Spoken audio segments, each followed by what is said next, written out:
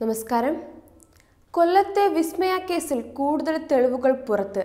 വിസ്മയ ശാരീരിക മാനസിക പീഡനം ഏറ്റിരുന്നു എന്നത് തെളിയിക്കുന്ന വിസ്മയുടെ ശബ്ദ സന്ദേശമാണ് പുറത്തെത്തിയിരിക്കുന്നത്. ഭർത്താവ് കിരൺ മർദ്ദിച്ചിരുന്നു എന്ന് വിസ്മയ കരഞ്ഞു പറയുന്ന ഓഡിയോ സന്ദേശമാണ് കേസിന്റെ കൂടുതൽ വിശദാംശങ്ങൾ പുറത്തു കൊണ്ടുവരുന്നത്. കിരൺകുമാറിന്റെ വീട്ടിൽ ഇനി തനിക്ക് നിൽക്കാനാകില്ലെന്ന് വിസ്മയ അച്ഛനോട് പറയുന്നതായി ശബ്ദ സന്ദേശത്തിലുണ്ട്. എനിക്ക് സഹിക്കാനാകില്ലെന്ന് വിസ്മയ കരഞ്ഞു പറയുന്നത് ശബ്ദ സന്ദേശത്തിൽ വ്യക്തമായി കേൾക്കാം. തന്നെ ഇവിടെ നിർത്തിയിട്ട് പോവുകയാണെങ്കിൽ ഇനി ആരും തന്നെ കാണില്ലെന്ന് വരെ വിസ്മയ അച്ഛനോട് പറയുന്നുണ്ട്. തനിക്ക് വീട്ടിലേക്ക് വരണമെന്ന് പറയുന്ന വിസ്മയോട് ഇങ്ങോട്ട് വന്നോളൂ എന്ന് അച്ഛൻ പറയുകയും ചെയ്യുന്നുണ്ട്. തന്നെ കിരൺകുമാർ മർദ്ദിക്കുമെന്നും തനിക്ക് പേടിയാകുന്നുവെന്നും ഇറങ്ങിപ്പോകാൻ വരെ പറയുന്നുവെന്നും വിസ്മയ പറയുന്നുണ്ട്. എന്നാൽ ഇതെല്ലാം ദേഷ്യം വരുമ്പോൾ പറയുന്നതാണെന്നും എല്ലാവരും ഇങ്ങനെയാകാമെന്നും പറഞ്ഞ അച്ഛൻ സമാധാനിപ്പിക്കാൻ ശ്രമിക്കുന്നതായി ശബ്ദ സന്ദേശത്തിൽ കേൾക്കാം. വിസ്മയ കേസിൽ മെയ് ഇരുപത്തിമൂന്നിന് വിധി പറയും. കൊല്ലം ജില്ലാ അഡീഷണൽ സെഷൻസ് കോടതിയാണ് കേസിൽ വിധി പ്രസ്താവിക്കുക. നാലു മാസത്തോളം നീണ്ട വിചാരണയ്ക്ക് ശേഷമാണ് കേരളം ഏറെ ചർച്ച ചെയ്ത കേസിൽ കോടതി വിധി പറയുന്നത്. ശാരീരികമായും മാനസികമായും പീഡിപ്പിച്ചതിനെ തുടർന്ന് രണ്ടായിരത്തി ഇരുപത്തൊന്ന് ജൂൺ ഇരുപത്തിയൊന്നിന് ഭർത്തൃഗൃഹത്തിൽ വിസ്മയ ആത്മഹത്യ ചെയ്തതെന്നാണ് കേസ്. സ്ത്രീധനമായി നൽകിയ കാറിൽ തൃപ്തനല്ലാത്തതിനാലും വാഗ്ദാനം ചെയ്ത സ്വർണം ലഭിക്കാത്തതിനാലും പീഡിപ്പിച്ചതായി ഭർത്താവ് കിരൺകുമാറിനെതിരെയാണ് കേസ്.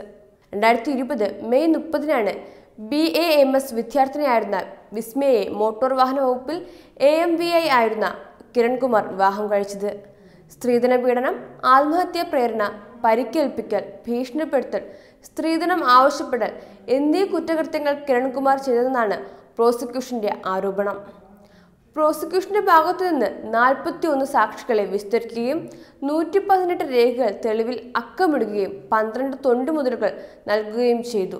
പ്രതിയുടെ പിതാവ് സദാശിവൻ പിള്ള സഹോദരപുത്രൻ അനിൽകുമാർ ഭാര്യ ബിന്ദുകുമാരി പ്രതിയുടെ സഹോദരി കീർത്തി ഭർത്താവ് മുകേഷ് എം. നായർ എന്നീ അഞ്ചു സാക്ഷികൾ വിസ്താരത്തിനിടെ കൂറുമാറിയിരുന്നു. കിരൺകുമാറിന്റെ ഫോൺ സൈബർ പരിശോധനയ്ക്ക് അയച്ചത് റെക്കോർഡ് ചെയ്തിരുന്ന സംഭാഷണങ്ങൾ കണ്ടെത്തിയിരുന്നു. സ്ത്രീധനം സംബന്ധമായി നടത്തിയത് ഉൾപ്പെടെ വിസ്മയമായുള്ള സംഭാഷണങ്ങൾ കോടതിയിൽ തെളിവായി ഹാജരാക്കി. പ്രോസിക്യൂഷനു വേണ്ടി special public prosecutor G. Mohan രാജും പ്രതിക്കു വേണ്ടി പ്രതാപചന്ദ്രൻ പിള്ളയും കോടതിയിൽ ഹാജരായി. ജനുവരി പത്തിനാണ് കേസിന്റെ വിചാരണ ആരംഭിച്ചത്. കൂടുതൽ സ്ത്രീധനം ആവശ്യപ്പെട്ട് വിസ്മയെ നിരന്തരം ഉപദ്രവിക്കുന്നതായിരുന്നുവെന്ന് കോടതിക്ക് മുന്നിൽ പ്രോസിക്യൂഷൻ തെളിവ് നിരത്തി വാദിച്ചു. ഇതിനായി വിസ്മയ അമ്മയ്ക്കും കൂട്ടുകാരിക്കും കിരണിന്റെ സഹോദരിക്കും അയച്ച വാട്സപ്പ് സന്ദേശങ്ങളും പ്രോസിക്യൂഷൻ കോടതിയിൽ ഹാജരാക്കി. പ്രോസിക്യൂഷന് വേണ്ടി നാൽപ്പത്തിരണ്ട് സാക്ഷികളും നൂറ്റി ഇരുപത് രേഖകളും ഫോണുകൾ ഉൾപ്പെടെ പന്ത്രണ്ട് തൊണ്ടുമുതലുകളും കോടതിയിൽ ഹാജരാക്കി. എന്നാൽ ഫോൺ സംഭാഷണങ്ങളും സന്ദേശങ്ങളും തെളിവായി എടുക്കാൻ കഴിയില്ല എന്നതായിരുന്നു പ്രതിഭാഗത്തിന്റെ വാദം. വകുപ്പ് തല അന്വേഷണത്തിന് ശേഷം ഗതാഗത വകുപ്പ് ഉദ്യോഗസ്ഥനായിരുന്ന കിരൺകുമാറിനെ ജോലിയിൽ നിന്നും പിരിച്ചുവിട്ടിരുന്നു. Web desk Tatwamayi news.